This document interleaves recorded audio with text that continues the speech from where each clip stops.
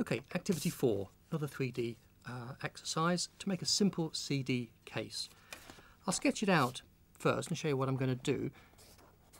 Basically constructing two squares. Now when I measured a CD case, the CD measured 120 millimetres, 12 centimetres across, so I've made my squares each 125 millimetres.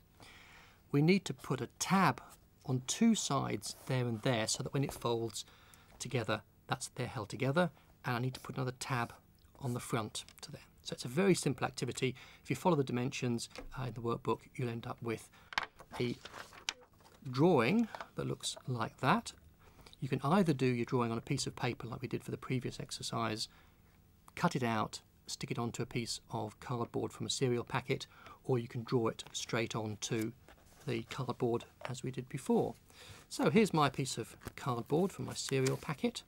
You can see that I've got the two tabs and these have been scored so they fold over. I've got a third tab here and I can simply now fold that over, apply a bit of glue, a bit of ordinary paper glue along those edges onto there, fold that over, put something heavy on that for a few minutes so that that sticks and then you can try it out with your CD into there.